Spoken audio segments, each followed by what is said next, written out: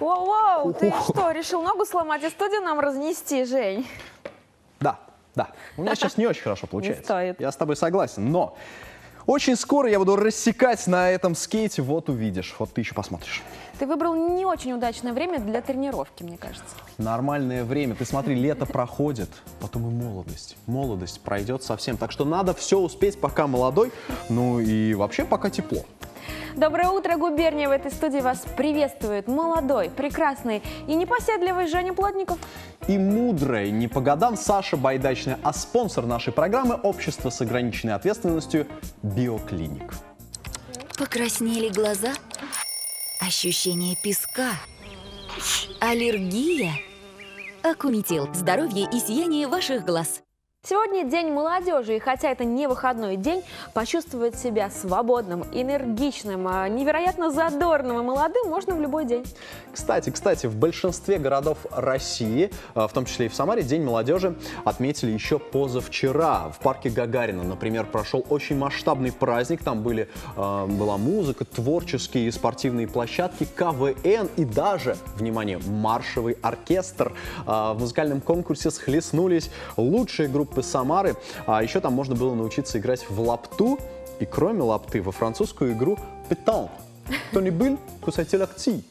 Ну а в Жигулевске, э, Чапаевске, Похвестнево, Кинеле и Ставропольском районе празднества продолжаются и сегодня. Танцоры, артисты различных э, жанров колесят по э, всей области в эти дни. Жень, мы с тобой рассуждаем о молодежи. Молодежь, молодежь. А кто это такая молодежь? Что это за Офици- явление? Официально молодые люди – это э, люди от 14 до 30 лет. Хотя в некоторых странах вообще молодежью считаются и 50-летние. А вообще я думаю, что э, дело в самоощущении. Это точно. Да, если ты в 50 лет готов учиться гонять на скейтборде, как я в 50, в свои 50, э, очень даже молодежь. А еще можно поэкспериментировать с программой определителем возраста. А, Мне 20 больше 20 не дают, кстати, в этой программе. Загружаешь фотографию, и тебе говорят, сколько тебе лет. Кстати, охотно верю. Да. Ну, из 10 фотографий один, правда. Одна была верная. А, Прям точно все угадал? Один раз, да. Ну ладно, мы гадать больше не будем, попробуем точно подсказать, предсказать погоду на сегодня. Итак, сегодня ожидается малооблачная погода, умеренный северный ветер и до 22 градусов выше ноля. Хорошо, что не, не сильная жара. Можно прогуляться по набережной и э, найти для себя очень интересное занятие. До сих пор самарцы вспоминает нашумевший Волга-фест. Но когда нет никаких фестивалей, тоже можно э, заниматься различными активностями. Итак, вот вам целый список. Фитнес-лаборатория на свежем воздухе проводит тренировки для желающих, но требуется предварительная запись. Э, помечаем на себя в ежедневнике. Для любителей спортивного туризма этим летом в Самаре открылась школа каякинга под руководством тренера Романа Акимова. Записывайтесь и бороздите волжские просторы на здоровье. Проект «Йога в парках» продолжает свои занятия на свежем воздухе. Тренировки проходят на набережной и почти во всех парках города. И следите за расписанием. Эти занятия совершенно бесплатные. Также на набережной э, тренируются спортсмены по воркауту. Это силовые тренировки, упражнения на турниках. Ну а возле речного вокзала можно уви- увидеть боксирующих людей. Так проходят занятия по муай-тай. Ну и также на набережной можно потанцевать сальсу, танго, линди-хоп.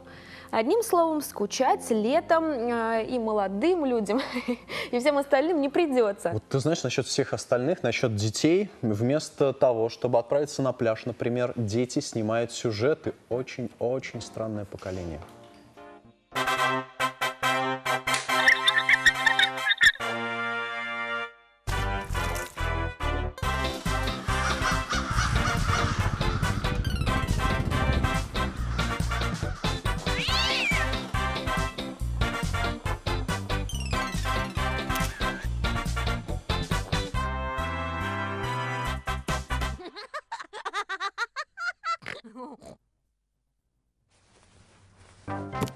Так, Дима, вот тебе деньги. Сходи в магазин, купи хлеба и молока. Вера, может, я сегодня не пойду в магазин? У меня такое плохое предчувствие. А у меня предчувствие, что тебе надо поменьше со своей соседкой в планшете сидеть в соцсетях.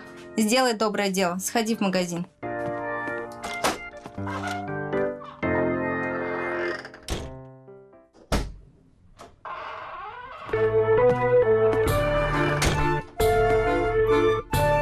Случилось?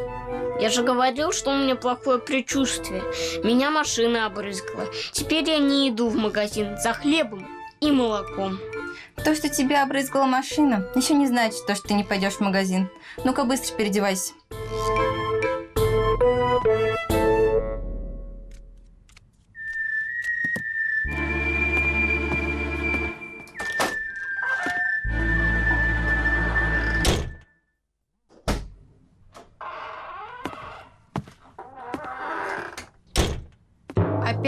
Опять машина обрызгала? А я что сделаю? Так.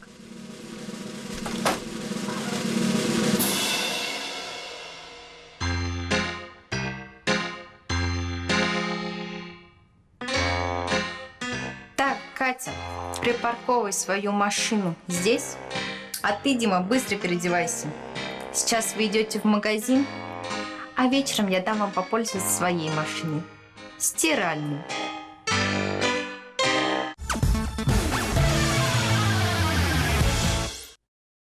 С молодежью ассоциируется неуемная энергия. Согласись, Саш, ведь, ведь почти все инновационные виды спорта придумали именно молодые экстремалы. Знаешь, и наша губернская молодежь не отстает от а, а, мировых спортивных трендов. Чем только у нас не занимается. Пожалуйста, вот вам списочек. Армспорт, черлидинг, паркур, трикинг, капуэйра, слэклайн, триал, бокинг, скейтбординг, который, кстати, у тебя пока не очень хорошо получается, футбольный фристайл и много чего другого. Перечислять не станем, времени не хватит. А В Самаре вообще-то даже несколько лет проходил э, фестиваль инновационных молодежных видов спорта, и я там был. Смузи пил, стоял в планке. Ой-ой-ой. А вот пока ты стоял, между прочим, самарские спортсмены попали в сборную по академической гребле и отправятся на Олимпийские игры в Рио-де-Жанейро. Максим Телицын, Александр Кулеш, недавно ставший чемпионом России, и Елена Лебедева, которая также выиграла чемпионат страны. Мы будем за них болеть. И будем волонтерить. С 1 июня открыт прием заявок на волонтерскую работу на чемпионате мира по футболу 2018 года. Волонтер чемпионата мира. Вслушайтесь, это жизнерадостный, энергичный, предпочитающий здоровый образ жизни человек, владеющий иностранными языками и рядом э, профессиональных навыков. Заметьте, в требованиях не сказано, что он должен быть уж больно молодым. Может быть совершенно любой желающий, которому в 2018 году исполнится 18 лет. И также любой желающий может записаться в школу экстремального катания, которая тоже недавно появилась в Самаре. Трюки на велосипедах, велосипедное шоу а, и фристайл. Если вас не пугают эти слова, то надевайте шлем и бегом кататься. И вас уж точно не испугают простые слова, простые движения. Прямо сейчас.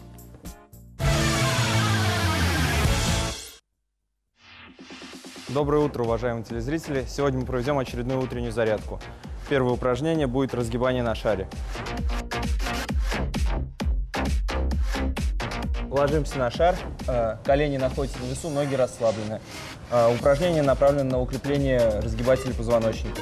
Опускаемся вниз, полностью округляем спину на выдохе, пресс не напрягается. И на вдохе разгибаем поясницу. Делаем. Раз, два, три, четыре, пять, шесть, семь, десять. Закончим. Следующим упражнением будет скручивание на шаре. Садимся на шар и скатываемся так, чтобы шар оказался под поясницей. Таз немного опущен. Мышцы пресса растянуты и скручиваемся на выдохе.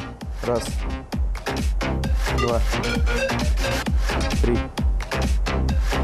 четыре, пять, шесть, семь, восемь,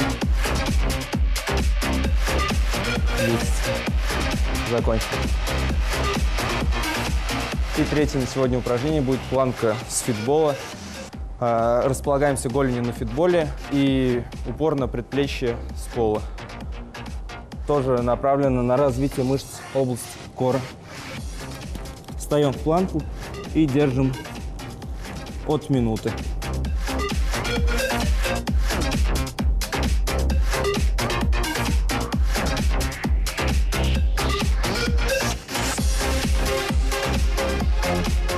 Закончили.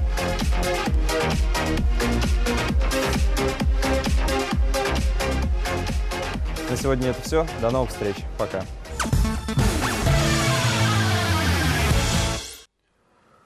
Ох, после такой зарядки прямо сейчас можно в студотряд и лопату в руки. А, кстати, в Самарской области действует целый штаб студенческих отрядов, так что самарские студенты не сидят без дела, не ленятся. История студотрядов началась аж в 1924 году, и сначала молодежь строила э, города, районы новые, потом уже молодым доверили быть экологами, проводниками, педагогами, но чаще всего работали студенты на ударных стройках. Байкало-Амурская магистраль, Саяно-Шушенская ГЭС, ну это как пример. Ох, здорово. Красиво звучит. А интересно, сильно ли изменилась э, молодежь за последнее время? За последние сто лет, например. Э, у нас есть фотографии столетней давности. Давайте посмотрим на эти лица. И действительно, ребята выглядят вполне воспитанными и аккуратными. И, кстати говоря, может быть и право наши бабушки. э, Не та нынче молодежь пошла, ну, которые на скамейках обычно сидят. Вместо отутюжных брюх мы носим рваные джинсы, так ли это Саша, красиво? Саша, ты на чьей сейчас стороне? Ты молодежь или нет? Ты, ты что делаешь-то? Давай-ка брось это все. Ладно, ладно, не волнуйся, Жень. Но все-таки девочки с красивыми бантами, это очень здорово. Я думаю, что календарь губернии того же мнения.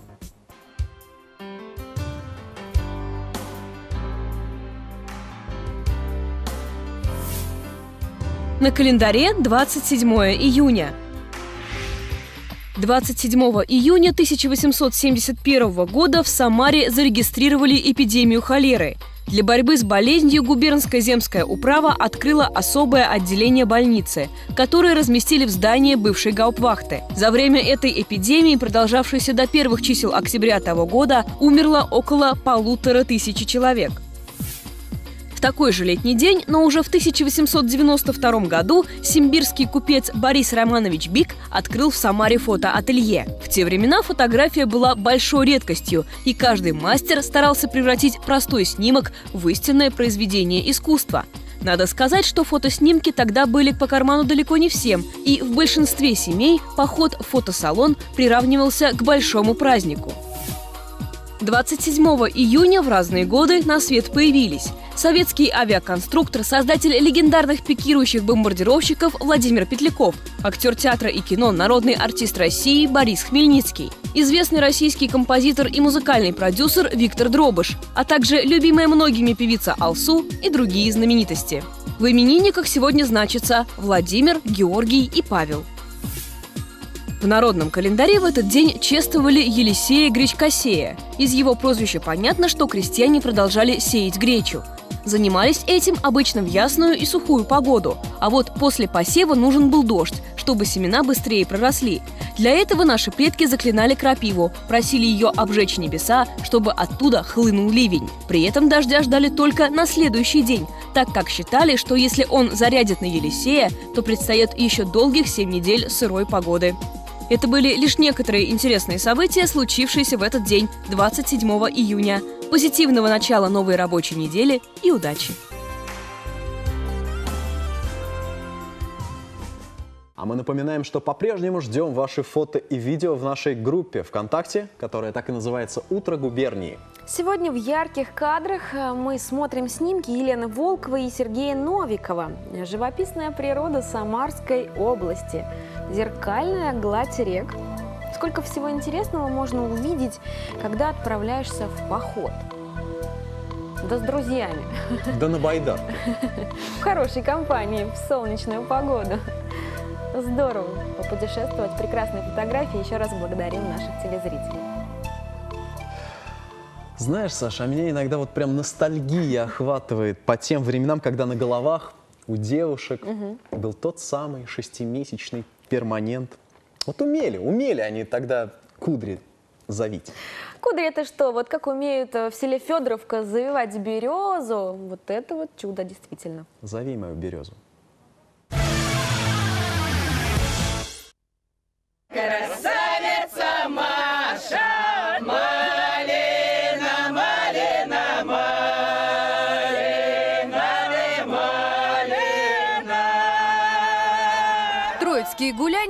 Живописнейшем уголке Богатского района, селе Федоровка, самый любимый праздник у молодежи.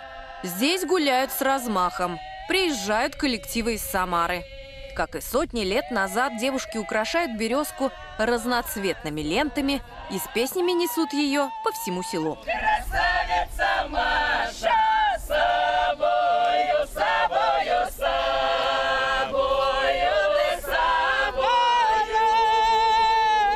старожилов в Федоровке осталась только Валентина Ивановна.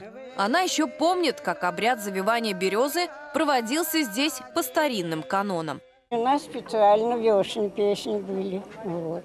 Что это были за песни? А? Вешные. Что ну, это за давай. песни? Ну, вот как по морю, Ну, ты как по, как по как, как по морю, морю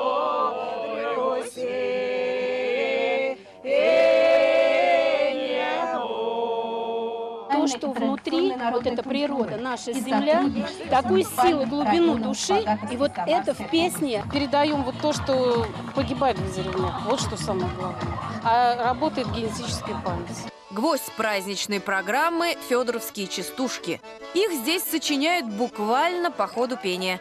Особым успехом пользуются хулиганские с перчинкой. Тракториста любить, нас приготовиться, сначала мыло купить, а потом знакомиться.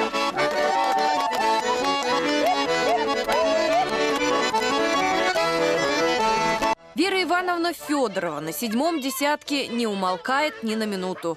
Признается, частушками лечится сама и сельчан радует. Праздновать никогда тяжело не бывает. Ноги больные. Дом похожу, похожу, сяду. А тут через все село прошло, и они у меня не заболели, а наоборот, прям выздоровели. Испокон веков Троица символизировала начало лета. В этот день принято было веселиться до упаду и наедаться до сыта. Поэтому столы щедро уставляли яичницей, символом лета и жаркого солнца, а также пирогами и караваями с квасом. В конце праздника с березой принято было проститься и отпустить ее в речку.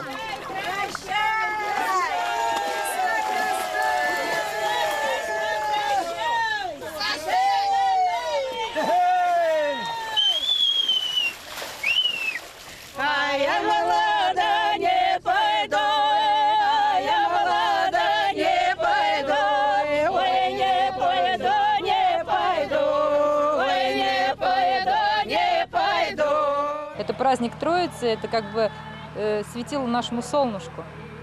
Если не будет солнышка, значит и мы как бы не будем расти, процветать, не будет вот этой прекрасной зелени, травы, голубого неба, да? И, таких красивых девушек. И этот праздник он всегда объединял.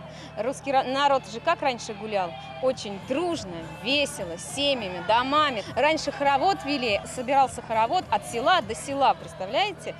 Как люди общались раньше. Уходя корнями далеко в дохристианские времена, Троица сегодня – один из главных христианских праздников, призывающий к миру, согласию и укреплению семьи. Марина Баркова, Лилия Валеева, Андрей Авдеев. Утро губернии из Богатовского района.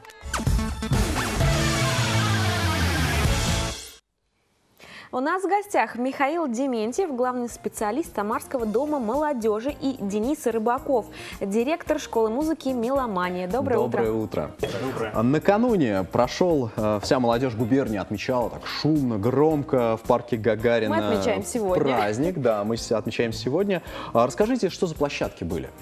Да. Как прошло? Да.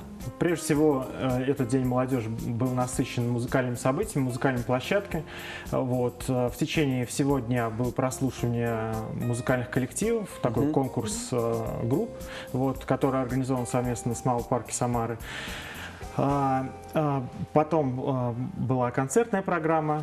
А, Хедлайнером выступала группа Cheese People, известные самарские коллективы, выражаем им в очередной раз благодарности наши. Вот. Еще работала малая сцена, такая как лаунж-зона Sirius. Вот. На ней выступали интересные электронные проекты, диджеи, джазовые коллективы. То есть программа была насыщенная такая, и была теплая, уютная атмосфера на этой сцене. То есть было все очень прям Подтверждаем. здорово. В каких спортивных состязаниях можно поучаствовать? Э, Конечно, здесь, наверное, я больше расскажу. Э, Организовали турнир по мини-футболу. Также еще провели замечательные соревнования по э, настольному хоккею. Наградили всех победителей. Провели абсолютно замечательный матч между представителями и жителями Франции. Приезжали к нам, поиграли с ними в футбол. И в целом ребята достаточно активно на различных площадках парка имени Юрия Гагарина проявили себя, занимались э, активным отдыхом и в целом просто замечательно проводили время. Михаил, ну раз уж вы взяли слово, расскажите, э, как сейчас вообще организована работа Дома молодежи? Ой, здесь много о чем можно рассказывать, и если наш эфир Это здорово. в два часа уместится, то, то в это время уместимся. А сейчас мы занимаемся в основном, а, целевая наша аудитория, это, конечно же, молодежь от 14 до 30 лет, а, и с ними мы проводим а, всевозможные различные мероприятия в соответствии с федеральными и муниципальными программами по различным как правонарушениям, так и пропаганде здорового образа жизни, определение вот такое положение человека, как молодого человека в составе города, чем он может заниматься, то есть и профориентационные работы. Ну и в целом а, проводим личные встречи, юридические консультации, психологические консультации, которые можно получить а, в режиме онлайн на нашем сайте. А, В группе ВКонтакте в целом тоже наши психологи, юристы работают. Любой вопрос, а, прям можно спокойно им писать, они с удовольствием. Ну, конечно, с маленькой заминкой. Не, не вот прям сразу выдадут ответ, но в течение короткого времени вполне квалифицированный То есть результат можно сделают. просто обратиться в Дом молодежи и найти для себя какое-нибудь занятие по душе или друзей каких-то новых. Если вам обрести. 14 до 30, обязательно. Понятно. Здорово. Денис, вы как директор музыкальной школы, расскажите, какую сейчас музыку предпочитает вот эта самая молодежь? Или, может быть, э, чему учатся, какие инструменты выбирают, что сейчас Ну, популярно? в целом популярно, конечно же, вокал. А, В последнее время барабанная установка. А, Вот интересные такие направления, как битбокс, вот, диджеинг, а, гитара. Конечно же, это классика, просто ну, гитара. То есть классика всегда в моде. Да.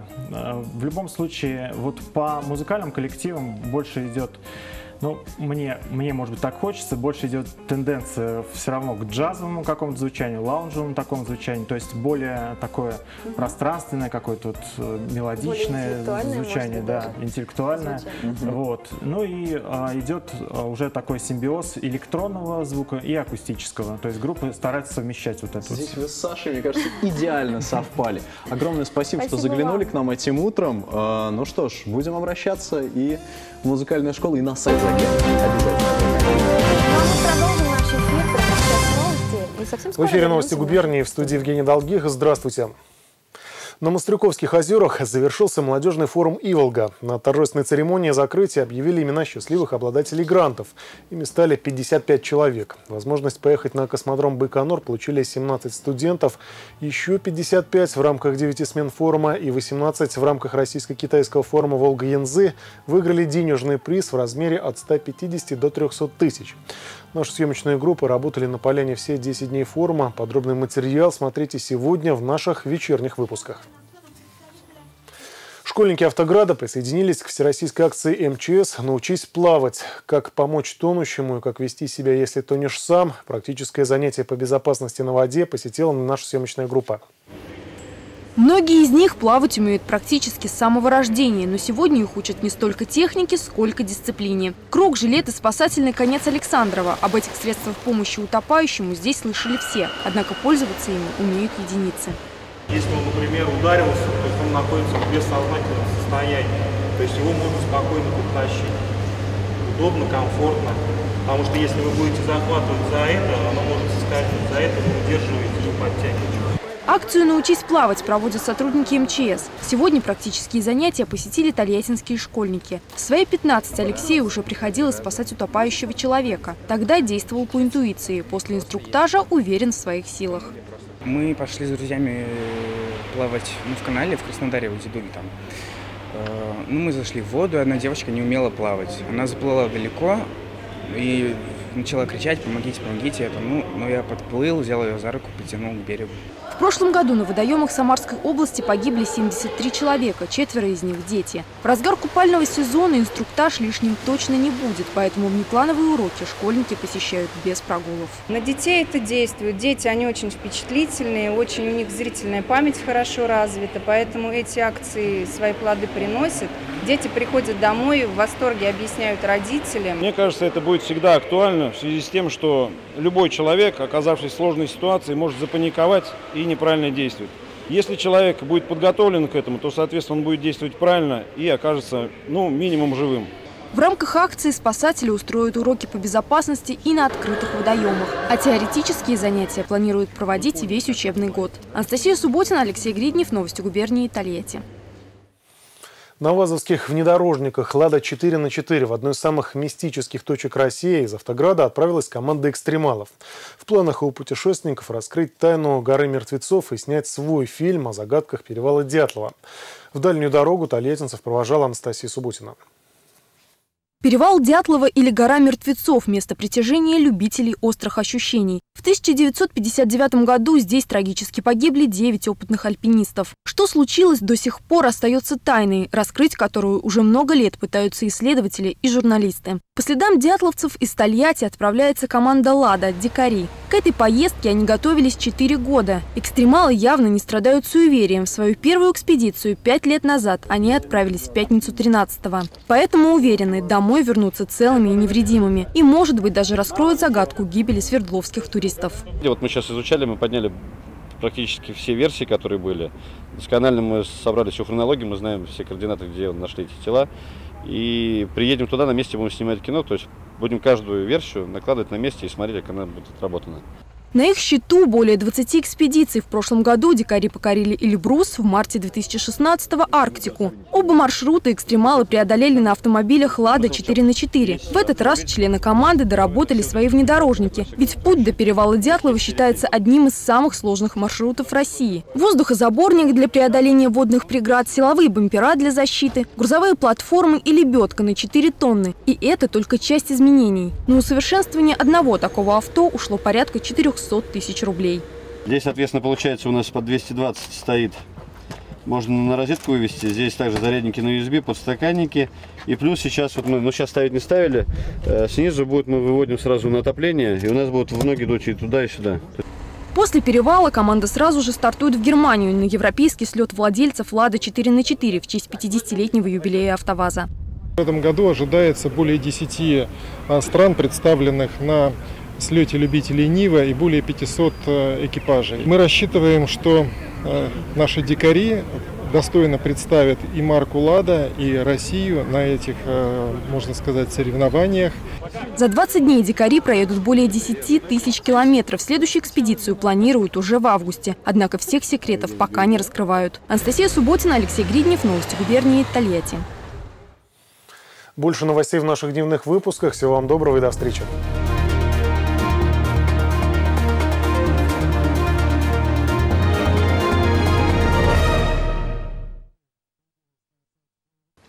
Доброе утро, губерния. В студии снова ведущие Саша Байдачная. И Женя Плотников. И мы сегодня отмечаем День молодежи. Вчера отмечали. Позавчера тоже отмечали. Да и вообще, я считаю, это праздник, который эм, нужен нам каждый день. И участвовать в нем должны абсолютно все, между прочим, от 1 до 100 лет.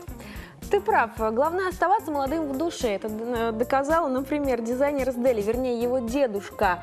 Э, внук одел своего 96-летнего деда как настоящего Дэнди. Ты какой красавчик. Слушай, не, не каждый молодой человек так ну одевается. Да, так что... дедуля. Браво, дедуля, браво.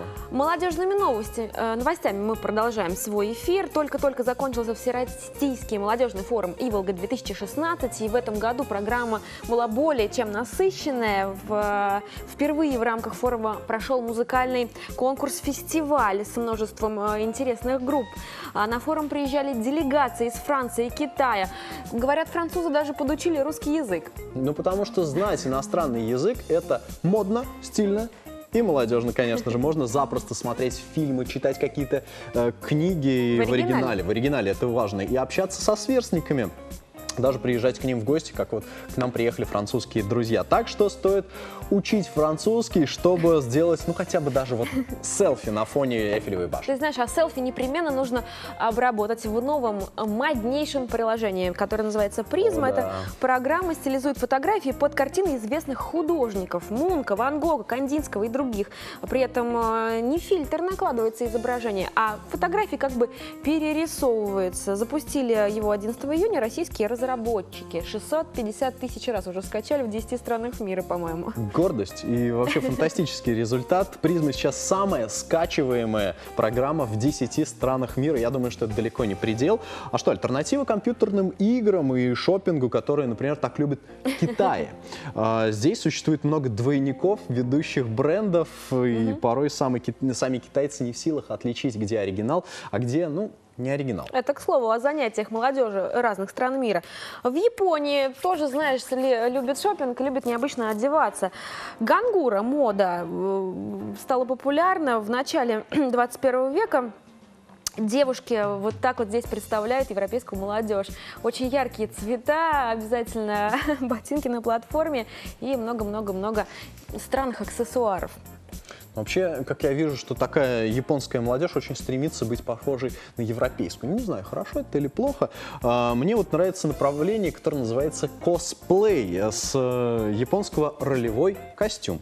Это скорее культурное явление. Фанаты косплея часто одеваются в созданные самостоятельно или купленные в специальном магазине э, костюмы персонажей видеоигр, аниме, фильмов. У нас вот в губернии проходит даже целый фестиваль, связанный с э, этой культурой. Ты знаешь, а в Европе новый э, тренд – игра в гольф прямо на улицах города. Кстати, на нашей набережной я считаю, что гольф тоже прекрасно бы пошел. А я бы на выставку пошел. Тоже бы прекрасно бы пошел на выставку, но на нее уже сходила Татьяна Пецина. Остается только смотреть ее сюжет.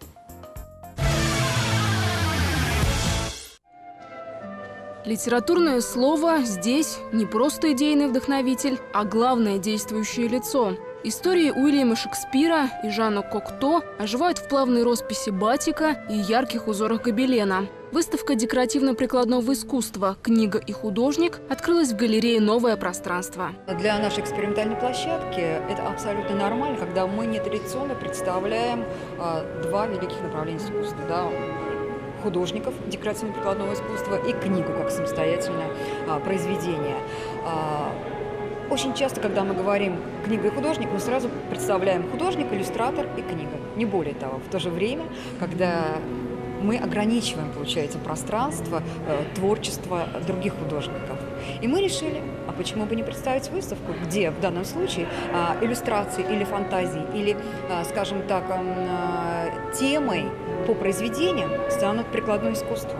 На этих шкатулках сюжеты старинных былин и русских народных сказок. Работая в жанре палехской лаковой миниатюры, Елена Балабанова опирается на исконные традиции. Краски замешивает на яичном белке, сусальное золото полирует волчьим клыком. Пестроте и витьеватости Наталья Тихонова предпочитает минимализм. Глиняные панно художница даже не покрывает краской или лаком. Потаенные смыслы обнажаются за счет игры света и тени. Для меня суть барельефа в том, что есть картина, но хочется показать объем, так, чтобы человек понял, что ну, вот, из двухмерного в трехмерное. А, и поэтому барельефы я не разукрашиваю. То есть, когда есть картина, не нужно ее, вот, когда ты делаешь ее в объеме, не нужно портить это. Ты только показываешь объем. В противовес всему выступает триптих Ирины Елизаровой. Девушка представила вольное прочтение книги «Шок будущего». Как только вокруг главного героя начинает накапливаться много ненужной информации, он делает вид, что ничего не видит и ничего не слышит. Мы как бы можем утонуть да, в информации, сверхвыборе, да, столько, столько информации идет, которой мы иногда мы не можем защититься даже от нее, научиться защищаться. И почему там вот, как раз разбирал, разбирал Тофлер, что появляется в 20-21 веке много объединений, да, когда мы объединяемся в, маль, в маленькие ячеечки да, и начинаем советоваться по поводу даже литературы, да, что смотреть фильм, как Литература в контексте современности обретает новые смыслы и провоцирует на диалог, результат которого зависит только от зрителя. Выставка «Книга и художник» открыта в галерее «Новое пространство» до 2 июля. Татьяна Пецина, Алексей Гриднев. Программа «Утро губернии».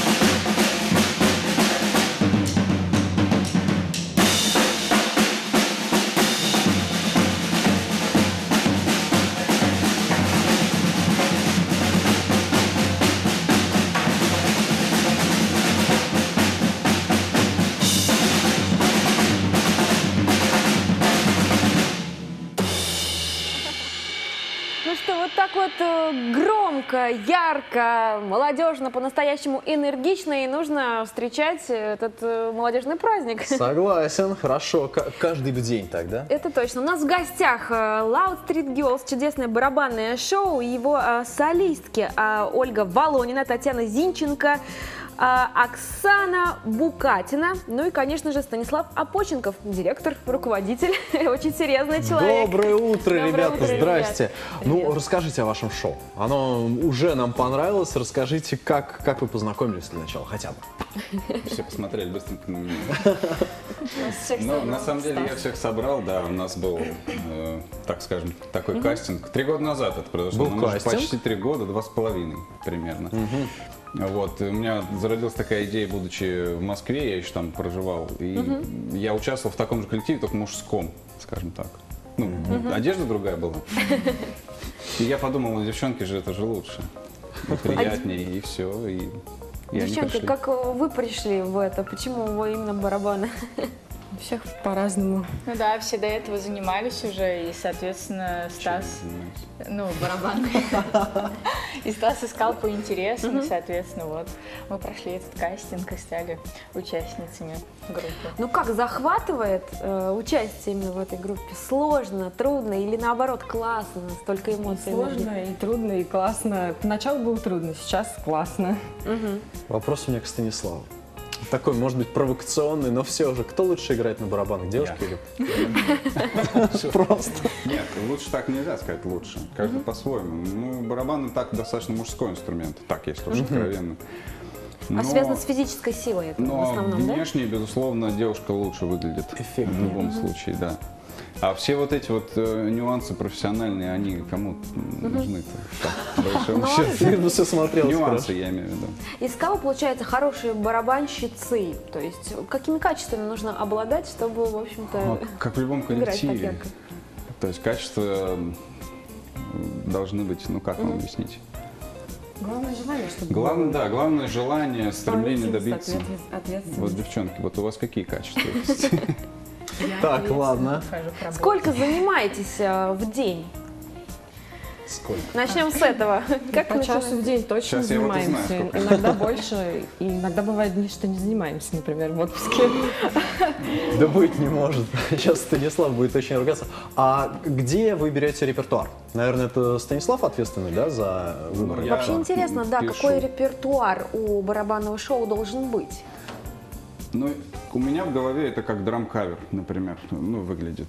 Драм-кавер, давайте Вот объясним нашим кавер-бенды, телезрителям. Да, вот Мгм. они поют чужие песни, а мы Мгм. играем чужие песни. Иногда, иногда свои. У нас свой материал, чужой материал. Мгм. Сольный, вот вы сейчас слышали. То есть э, можно сказать, что у барабанов есть э, своя сольная партия, импровизация. У них есть солисты, Мгм. есть э, главная тема куплет, там есть припев, Мгм. есть э, там развитие, средняя часть С, допустим. Это все есть как бы как в обычной песне. Может быть, не все это слышат. А кто деле. придумывает эту ритмику, э, вот эти как раз-таки э, барабанные линии? Ну, раньше в основном я этим занимался. В последнее время девчонки вот тоже подключились. Ну, как бы время же идет, им же интересно. Вот мы недавно вот были буквально на открытии Иволги, и это вот уже их работа была. Они уже этим занимаются. Я просто уже не успеваю. Говорю, вот вам материал, давайте делать, они сделали. Да, я хочу спросить про именно те инструменты, которые вы принесли. Чем отличается? Ну, видно, что вот это вот такой, видимо, более басовый, глубокий барабан. А вот эти двое э, чем-нибудь Эти двое? отличаются? Эти двое. Эти двое отличаются тоже по своему звучанию. А, у нас есть еще, еще один третий Да, барабан, что он входит тоже отличается а, между собой, они все и, и по звуку, получается, мы их комбинируем так, Мгм. чтобы лучше слушалось. А то есть у вас сейчас не полный состав? Нет, не да? полный. У Ну, нас еще два человека. как бы и отпуск. Собственно, Вот оно что. У нас пять человек. Это должно быть еще громче. Девчонки, вы молоды, прекрасно, красиво, впереди еще очень много времени. Какие у вас э, идеи, наверное, связаны, э, связываете ли вы свои планы с барабанами, с барабанным шоу? Есть ли перспективы развития какие-то? Э, Где планируете выступать? Рассказывайте об этом. Ну, выступать хотим везде. Вот, стараемся, не знаю, новые песни какие-то подбирать, новые, а, не знаю, видео, фото делать, в общем, по-разному развиваться. А там уже куда позовут, там уже и будем. Ну, помимо этого коллектива еще многие из нас играют и в других, на установке уже непосредственно, не только на одном барабане. Поэтому развитие есть. А как публика принимает, мне интересно? Как реагирует? Да Ну, как ура. вы прыгаете? Ну да, на Прыгает, ура. кричит? Необычно. Да, уди- Кто удивляются все. видит. Ну, всем нравится, на самом деле. О, ну это здорово. Многие поначалу не верят, мы что это мы играем. просуществовали. Так. Мгм. Три года, да, уже? Будет зимой. Будет. А расскажите какие-нибудь э, самые экстремальные места, в которых вы выступали, самые экстремальные ситуации, в которых вы бывали, потому что у вас э, называется Loud Street Show, я так понимаю, на улицах нет, вас не встретите или Ну, встретите? было, мы тоже, да, тоже выступали и на Ленинградке, и на набережной наши тоже выступали. Но самое экстремальное было, ну, где? Ну, на самом деле Да, у нас наверное. все большие площадки, в основном так получилось, То что есть мы вы громкие, мы по-крупному, да. Ну, всякие разные были, конечно, ситуации. У нас вот Татьяна со сцены упала, например. Так, другая Татьяна. да, которой сегодня нету. Привет, Таня. А, В конце, уже в конце нашего выхода она просто пошла назад, сцена была огромная, в Москве мы выступали, и она просто упала просто И назад повисла. и повисла на руках закончилось. своих. Ее техники поползли и вытащили просто за руки оттуда. То есть даже зрители не заметили это, может быть? заметили. Я думаю, равно. который вот Я не заметил. Фантастика, просто эта история удивительная. Скажите, а вот мы послушали примерно минуту, да, вашего выступления? Ну, ну, плюс-минус. А сколько обычно длится ваше выступление? Сколько вы барабаните? Максимум могу сказать. Да. Два часа. Два часа. Но это не в, не в России. Два часа барабанов, боже мой. Ну это круто. Ребята, спасибо огромное, что к нам сегодня Спасибо. заглянули. Спасибо, что так взбодрили нас. Да, спасибо за вашу энергию и, конечно, вас с праздником, с Днем молодежи. Спасибо. Спасибо. вам. Ну а наш молодежный эфир продолжает Елена Шишкина с сюжетом об Академии юных музыкальных дарований. Нам с тобой, Саш, туда уже все. Дорога закрыта, старовато мы, к сожалению. Вот с таким же ощущением, что как будто бы ты начинаешь играть этот, э, эти три стороны в другую сторону. Как бы заново начинаем. Потому что просто сами по себе они не очень прозвучат здесь. Дам, та-да-дам, папам. Этих уроков ждут целый год. За право их посещать молодые музыканты соревнуются между собой, чтобы на несколько дней почувствовать себя студентами ведущих вузов страны, где преподают настоящие звезды. Проект Юрия Башмета – это еще и шанс для одаренных детей попасть в поле зрения тех, кто сегодня находится на вершине музыкального Олимпа и решить свою профессиональную судьбу. Лауреат премии имени Чайковского Евгений Румянцев родился и вырос в Москве. Он прекрасно понимает, как важно для начинающего музыканта быть в центре культурной жизни и брать уроки у лучших преподавателей. Конечно, современные технологии позволяют общаться с учителем через интернет, даже находясь в разных странах, но скайп не заменит полноценного живого урока. Когда они происходят живьем, это, конечно, намного лучше. Э, Ну, во-первых, э, через видеосвязь есть, э, есть определенная задержка во времени, есть некие потери в смысле звука, то есть не так остро может услышать педагог то, что делает его сказать, ученик, или если сам педагог что-то что показывает ученику, на каком-либо инструменте, э, тоже, значит, ученик не настолько тонко это может услышать. Все-таки живой контакт – это всегда лучше. Евгений уже второй раз участвует в работе Академии Башмета и уже понял, что за два-три занятия невозможно объять необъятное, но добиться конкретных результатов можно. Очень хочется дать сразу все и давать очень много, много э, всех разных вещей рассказывать, секретов, э, мастерства, из собственного опыта, из опыта своих наблюдений. Но, к сожалению, поскольку время ограничено, э, приходится все-таки останавливаться на самом главном. И я пришел к выводу, что лучше всегда, допустим, обратить внимание какого-то студентов, его конкретной ситуации на главные моменты, какие-нибудь ключевые, их два-три, не больше – Э, но добиться того, чтобы он действительно на этом мастер-классе понял их, и у него бы началось получаться. Для успеха, помимо таланта и усердия, важна физиология молодого музыканта. Не столько, наверное, рост, сколько вот именно как это вот плотность, потому что бывают люди не очень высокие, но, но очень такие коренастые, и вот девочки такие часто на виолончель приходят играть. Лидерские качества тоже важны. Как стать первой скрипкой, даже если ты виолончелист? Виолончель, как правило, все-таки э, ведет линию баса, то есть это линия поддержки, аккомпанемента, и она, в общем-то, тоже может быть ведомой, но и от, от баса тоже очень много чего зависит. То есть от баса выстраиваются аккорды. Тут, мне кажется, не может быть музыки на 100% понятие вот ведущий или ведомый, потому что, в принципе, эти роли э, от одного человека к другому все время переходят. Чтобы совершить главный переход и оказаться на вершине, молодым музыкантам понадобится не меньше 15 лет обучения и упорного труда, но общение с тем, кто уже прошел этот путь, дает надежный ориентир на дороге к успеху. Елена Шишкина, Игорь Лунев. Утро губернии.